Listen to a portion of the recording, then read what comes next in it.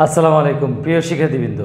বিশেষ করে দশম শ্রেণির শিক্ষার্থীবৃন্দ, তোমাদের সবাইকে, তোমাদের প্রিয় স্কুল, বনশ্রী ন্যাশনাল আইডিয়াল স্কুলের পক্ষ থেকে আজকে তোমাদের এই বিএনএস হোম স্কুলিং ক্লাসে তোমাদের সবাইকে শুভেচ্ছা এবং স্বাগতম জানাচ্ছি আমি জয়ন্ত চন্দ্রদেব। শিক্ষার্থীবৃন্দ, আশা করি তোমরা সবাই বেশ বেশ ভালো আছো। শিক্ষার্থীবৃন্দ, আমরা গত ক্লাসে তোমাদের সাথে আলোচনা করেছিলাম বিষদায় বিবরণীতে কীভাবে পরিচালক মুনাফার পর অন্যান্য আয় এবং অন্যান্য ব্যয় এই বিষয়গুলোকে হিসাবভুক্ত করে প্রতিষ্ঠানের নিট মুনাফা নির্ণয় করতে হয়। শিক্ষার্থী, সেই সাথে সাথে আমরা আলোচনা করেছিলাম কীভাবে মালিকের মূলধনের সাথে অতিরিক্ত মূলধন বা মূলধনের সুদ এই বিষয়গুলো যোগ করে এবং উত্তোলন জাতীয় বিষয়গুলোকে বাদ দিয়ে মালিকানা সত্ত্ব, অর্থাৎ প্রতিষ্ঠানের উপর মালিকের অধিকার কতটুকু সেটা হিসাবভুক্ত করার প্রক্রিয়াগুলো। সেক্ষেত্রে আজ আমরা হাজির হয়েছি তোমাদের সাথে আলোচনা করার জন্য। ওই প্রতিষ্ঠানের আর্থিক অবস্থার বিবরণী। অর্থাৎ প্রতিষ্ঠানের কতটুকু সম্পদ রয়েছে প্রতিষ্ঠানের কতটুকু দায় রয়েছে এবং এই প্রতিষ্ঠানের যে মালিকের অধিকার রয়েছে, এই সব কিছু মিলে আমরা জানি আমাদের যে হিসাব সমীকরণ, সম্পদ ইজিক্যাল টু দায় প্লাস মালিকানা সত্ত্ব সেই সম্পদ ইজিক্যাল টু দায় প্লাস মালিকানা সত্ত্বের মধ্যে আমরা জানি যে আমাদের সম্পদ ইজিক্যাল টু দায় প্লাস মালিকানা সত্ত্ব অর্থাৎ মোট সম্পদের ফলাফল আর দায় ও মালিকানা সত্ত্বের ফলাফল দুটো ফলাফল একই পরিমাণ হবে। সেই হিসাব সমীকরণ প্রমাণের জায়গাটি হচ্ছে প্রতিষ্ঠানের আর্থিক অবস্থার বিবরণী। তো আমরা আজকে তোমাদের সাথে সেই আর্থিক অবস্থার বিবরণী কীভাবে লিপিবদ্ধ করতে হয় কিবা কীভাবে ধাপগুলো, প্রক্রিয়াগুলো অনুসরণ করতে হয় সেই বিষয় নিয়ে আমরা আলোচনা করব। তো শিক্ষার্থী, আমাদের আজকে ক্লাস নাম্বার হচ্ছে ত্রিশ এবং আমাদের আজকে তোমাদের এই তেরো তারিখে এই বিষয়গুলো তোমরা খাতা নোট ডাউন করার চেষ্টা করবে এবং এই সংক্রান্ত বিষয় কোনো প্রকার জানার আগ্রহ থাকলে বা কোনো প্রশ্ন থাকলে আমাদের মোবাইল নাম্বার বা মেসেঞ্জার রয়েছে, তোমরা সেখানেও যোগাযোগ করে জেনে নিতে পারবে। শিক্ষার্থীবৃন্দ শিক্ষার্থীবৃন্দ, তাহলে চলো আমরা তোমাদের সাথে আর্থিক অবস্থার বিবরণী, সেই বিষয়টি নিয়ে আলোচনা করার চেষ্টা করি। সেক্ষেত্রে প্রতি আমরা এখানে লিখব প্রতিষ্ঠানের নাম, আর্থিক অবস্থার বিবরণী। সাধারণত একত্রিশে ডিসেম্বর দুই হাজার বিশ কিংবা তিরিশে জুন দুই হাজার বিশ এই জাতীয় কোনো প্রকার বিষয়গুলো এই উল্লেখ করতে হয়। এরপর আমরা ঘর তৈরি করব এবং এখানে আমরা টাকা ঘর দিয়েছি কয়টি? তিনটি। তো প্রথমে আমরা যে বিষয়টি নির্ণয় করব সেই বিষয়গুলো হচ্ছে সম্পদসমূহ। সম্পদসমূহের মধ্যে প্রথমে যেটি আসবে, সেটি হচ্ছে আমাদের দীর্ঘমেয়াদী বা আমাদের যে স্থির সম্পদ, সেই সম্পদগুলো, অর্থাৎ আমরা যে বিষয়গুলোকে আমরা অনেকদিন ব্যবহার করে থাকি, সেই বিষয়গুলো। তো সেই বিষয়গুলোকে আমরা বলি দীর্ঘমেয়াদী সম্পদ অথবা স্থায়ী সম্পদ। সেক্ষেত্রে এই স্থায়ী সম্পদের মধ্যে প্রথমে থাকবে যেমন আসবাবপত্র কিংবা যন্ত্রপাতি, এই বিষয়গুলো কিংবা অফিস সরঞ্জাম।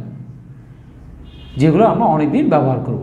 সেই সম্পদগুলো আমরা সাধারণত প্রথম টাকা ঘরে ইউজ করব এবং সেখান থেকে আমরা বাদ দিব পুঞ্জীভূত অবচয়, যেটিকে হচ্ছে বিপরীত সম্পত্তি আমরা জানি প্রত্যেকটি সম্পদ ব্যবহার করার কারণে মূল্য কমে যায়, সেই মূল্যের জন্য একটা ফান্ড আমরা ক্রিয়েট করব।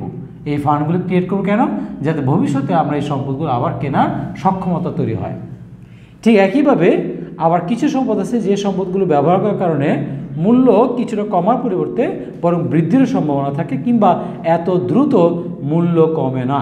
সেগুলো হচ্ছে যেমন সুনাম, ভূমি দালান কোঠা কিংবা কপিরাইট পেটেন্ট ট্রেডমার্ক এই জাতীয় সম্পদগুলো যে সম্পদগুলোর আমরা অবচয় বাদ দেব না, বাদ দেব হচ্ছে অবলোপন। অবলোপনও একটা ফান্ড কিন্তু এই অবলোপনগুলো আমরা ব্যয় হিসেবে দেখিয়ে আমরা সেই সম্পদ থেকে বাদ দিয়ে আমরা বের করব সেই সম্পত্তি নিঃসম্পত্তি সেক্ষেত্রে এই জাতীয় আমাদের দীর্ঘমেয়াদী সম্পদের যোগফলগুলো আমরা লিখব থার্ড গড়ে এবং লিখব মোট দীর্ঘমেয়াদী সম্পদ। সেক্ষেত্রে এরপরে দীর্ঘমেয়াদী সম্পদের পর একটা মধ্যমেয়াদী সম্পদ টাইপের বিষয়, সেই বিষয়টি হচ্ছে বিনিয়োগ নামে একটি পার্ট থাকবে আলাদা। এখানে বিনিয়োগ বলতে যেমন আমরা যদি কাউকে ঋণ দিয়ে থাকি, সেই ঋণ এক ধরনের আমাদের বিনিয়োগ। কিংবা আমরা যদি শেয়ারের শেয়ার কিনে থাকি বিভিন্ন কোম্পানি সেই শেয়ারের বিষয়টিকে বলা হয় বিনিয়োগ। অথবা শুধু বিনিয়োগ নামে অনেক সময় এই নামটি উল্লেখ করা হয়। সেই বিনিয়োগের সাধারণত কোনো কাজ থাকে না। আমরা সাধারণত এই বিনিয়োগের পরিমাণগুলোকে আমরা থার্ড করেই সরাসরি লিখব। সেক্ষেত্রে এরপর রয়েছে আমাদের চলতি সম্পদ, যে সম্পদগুলো আমরা সাধারণত এক বছরের মধ্যেই যে কোনো সময় আমি চাইলে সেগুলোকে আমি আবার দ্রুত নগদ টাকা রূপান্তর করতে পারব। তো সেই বিষয়গুলোকে আমরা বলি চলতি সম্পদ। চলতি সম্পদের মধ্যে রয়েছে যেমন হাতে নগদ, ব্যাংক জমা। এই বিষয়গুলো হচ্ছে আমাদের চলতি সম্পদ। রয়েছে দেনাদার অর্থাৎ যে টাকাগুলো আমি মানুষের কাছে বাকিতে পণ্য বিক্রি করার কারণে বিভিন্ন পক্ষ কাছ থেকে টাকাগুলো পাবো। সেই দেনাদারের সাথে অনেক সময় কাছ থেকে কি? কুড়ি। অর্থাৎ যে টাকা আমরা আর পাবো না, কিংবা নতুন কুড়িন সঞ্চিতি সেই বিষয়গুলো আমাদের বাদ দিতে হয়। এভাবে আমাদের নিট দেনাদার বের করতে হয়। দেনাদার থেকে কুড়িন বা কুড়িন সঞ্চিতি বাদ দিয়ে নিট দেনাদার আমরা নির্ণয় করব। এরপর আমাদের থাকবে চলতি সম্পদের মধ্যে যেমন মজুদ পণ্য টাইপের সমাপনী মজুদ পণ্য। কিংবা সমাপনী মণিহারি বা অব্যবহৃত মণিহারি যেটাকে আমরা বলে থাকি।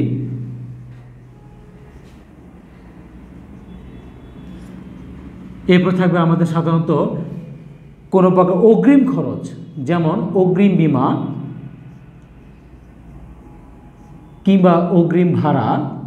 এই জাতীয় কোনো খরচ অগ্রিম পরিশোধ করলে সেগুলো হচ্ছে আমাদের জন্য চলতি সম্পদ। এরপর আমাদের কোনো প্রকার আয় যদি বকেয়া থাকে, সেই বকেয়া আয়গুলো হচ্ছে আমাদের জন্য চলতি সম্পদ, যেমন বকেয়া উপভাড়া। এই জাতীয় আয়গুলো, কোনো আয় বকেয়া থাকলে সেটা হচ্ছে চলতি সম্পদ।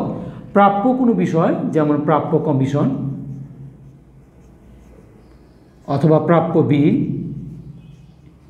এই প্রাপ্য জাতীয় যেগুলো, সেগুলো হচ্ছে চলতি সম্পদ।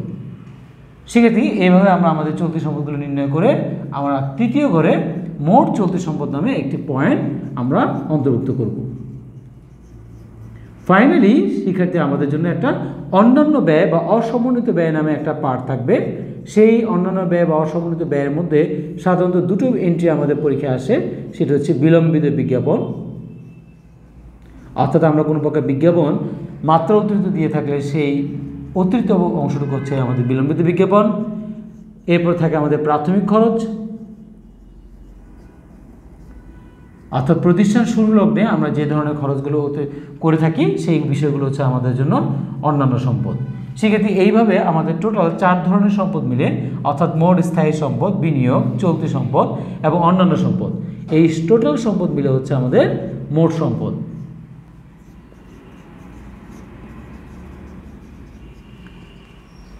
সেক্ষেত্রে এবার আমরা চলে যাব তোমাদের সাথে দায় এবং মালিকানা সত্ত্বে যে বিষয়টি, সেই দায় এবং মালিকানা সত্ত্বে বিষয়টি তোমাদের কীভাবে উপস্থাপন করা হবে। এই ক্ষেত্রে আমরা সাধারণত মালিকানা সত্ত্ব ও দায়। সেক্ষেত্রে আসলে এই আর্থিক অবস্থায় বিবরণী উপস্থাপনের জন্য তিনটা প্রক্রিয়া রয়েছে। কোনো কোনো ক্ষেত্রে চলতি দায় দিয়ে বা চলতি দীর্ঘ তারপর দীর্ঘমেয়াদী দায়, তারপর মালিকানা সত্ত্ব এভাবে প্রেজেন্টেশন করা হয়। আবার কোনো কোনো জায়গায় মালিকানা সত্ত্ব প্রথমে দিয়ে, তারপর হচ্ছে দীর্ঘমেয়াদী দায়, তারপর চলতি দায় প্রেজেন্টেশন করা হয়। তো যদি মালিকানা সত্ত্ব দিয়ে শুরু হয়, তার মানে এটা হচ্ছে স্থায়ী অগ্রাধিকার পদ্ধতি। আর অন্যদিকে যদি চলতি দায় দিয়ে শুরু হয়, তাহলে সেটা হচ্ছে তারল্য অগ্রাধিকার পদ্ধতি। তো আমরা সাধারণত তোমাদের বই অনুযায়ী আমরা স্থায়ী অগ্রাধিকার পদ্ধতি অনুযায়ী প্রথমে আমরা মালিকানা সত্ত্ব নির্ণয় করব। সেক্ষেত্রে মালিকানা সত্ত্ব, অর্থাৎ আমরা গত ক্লাসে তোমাদের সাথে আলোচনা করেছি কীভাবে মালিকানা সত্ত্ব নির্ণয় করা হয়। সেক্ষেত্রে সমাপনী মূলধন যেটাকে বলা হয় বা মালিকানা সত্ত্ব, সেই বিষয়টি আমরা সাধারণত থার্ড করে অন্তর্ভুক্ত করব, যেটা আমরা সাধারণত আগে করে নিয়ে আসব। আর যদি আমরা মালিকানা সত্ত্ব পাঠটি আগে না করে থাকি, তাহলে এখানে এসেও করা যাবে। এই ক্ষেত্রে সেক্ষেত্রে দ্বিতীয় যে পার্টটি রয়েছে, সেটি হচ্ছে দীর্ঘমেয়াদী দায়। দীর্ঘমেয়াদী দায় মানে হচ্ছে আমরা যদি কোথাও থেকে ঋণ গ্রহণ করে থাকি, যেমন ঋণ বা ব্যাংক ঋণ কিংবা কোনো দীর্ঘমেয়াদী ঋণ, এই জাতীয় কোনো প্রকার শব্দ যদি আমরা থাকে, সেই শব্দগুলো হচ্ছে আমরা দীর্ঘমেয়াদী ক্ষেত্রে ব্যবহার করব। সেক্ষেত্রে এই হলো আমাদের দীর্ঘমেয়াদী এবং এগুলো সাধারণত আমাদের একটি বা দুইটি এন্ট্রি থাকে, খুব বেশি একটি এন্ট্রি থাকে না। আমরা পরবর্তীতে যাব চলতি দায়। চলতি দায়ের মধ্যে আমাদের বেশ কিছু দায় থাকবে।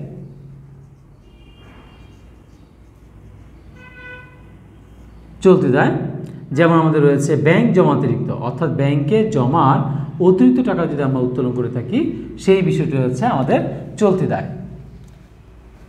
এক্ষেত্রে একাধিক চলতে দেয় থাকার কারণে আমরা সাধারণত এই দ্বিতীয় ঘরগুলোকে ইউজ করব। রয়ে থাকবে আমাদের বকেয়া কোনো ব্যয়। বকেয়া ব্যয়গুলো হচ্ছে চলতি দেয়, যেমন বকেয়া ভাড়া কিংবা বকেয়া কোনো খরচ, অর্থাৎ বকেয়া মণিহারি কিংবা বকেয়া বিদ্যুৎ বিল, এই জাতীয় কোনো বকা, বকেয়া খরচ হচ্ছে আমাদের জন্য চলতে দেয়। অন্যদিকে অগ্রিম আয়, অর্থাৎ কোনো আয় যদি আমরা অগ্রিম করে থাকি, যেমন আমরা অনুপার্জিত আয়, এই জাতীয় শব্দগুলো থাকে, কিংবা অগ্রিম শিক্ষানবির সালামি শিক্ষানবির সালামি শিক্ষার্থী আমরা জানি যেটা আমাদের জন্য হচ্ছে আয়। সেই ক্ষেত্রে এই আয়গুলো আমরা যদি অগ্রিম গ্রহণ করে থাকি, তাহলে সেগুলো হচ্ছে আমাদের জন্য দায়। সেক্ষেত্রে এরপর আমাদের যে বিষয়গুলো থাকে, চলতি দায়ের মধ্যে ব্যাংক জমাতিরিক্ত দেখলাম আমরা অগ্রিম আয় এবং বকেয়া ব্যয় দেখলাম, বকেয়া মনিহারি খরচ বা এই জাতীয় বিষয়গুলো হচ্ছে আমাদের জন্য চলতি দায়। থাকবে হচ্ছে প্রদেয় টাইপের কোনো বিষয়, যেমন প্রদেয় কমিশন কিংবা প্রদেয় বিল, এই বিষয়গুলো হচ্ছে আমাদের জন্য চলতে দেয়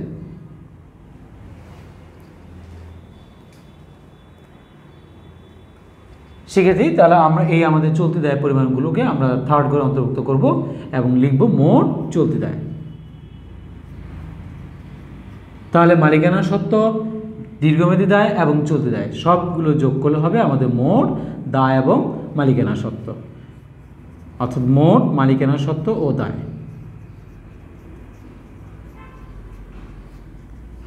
সেক্ষেত্রে আমাদের এই মোট সম্পদের রেজাল্ট এবং মোট দায় মালিকানা সত্ত্বের রেজাল্ট এই দুটো রেজাল্ট একই হয়ে যাবে এবং এভাবেই আমরা আমাদের আর্থিক অবস্থার বিবরণী প্রস্তুত করে থাকব। সেক্ষেত্রে আশা করি এই বিষয়টি তোমরা চমৎকারভাবে বুঝতে পেরেছ।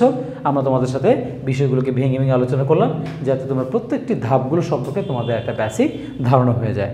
তো আশা করি তোমাদের এই দশমদের অঙ্কগুলো থেকে যেহেতু আমাদের অবশ্যই বাধ্যতামূলকভাবে ক বিভাগে অঙ্ক থাকবে, তাই এই অধ্যায়ের অংশ, অঙ্কগুলোকে বা সৃজনশীলগুলোকে আমাদের খুব ভালো করে চর্চা করতে হবে।